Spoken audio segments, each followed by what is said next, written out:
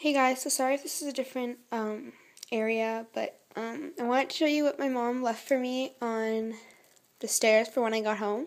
So I finally got the new pastel tapes. They're so pretty and they're so cute. Like, um, there's the yellow and they have these little, sorry about the flash, um, like springy designs on the back.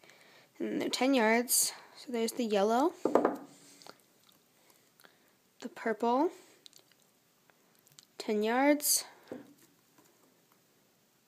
The blue, 10 yards. I love the blue, it's so pretty. And the pink, which is 10 yards. So these tapes are so, so, so cute. I think you should, guys should go buy them if you can. I got them at Walmart.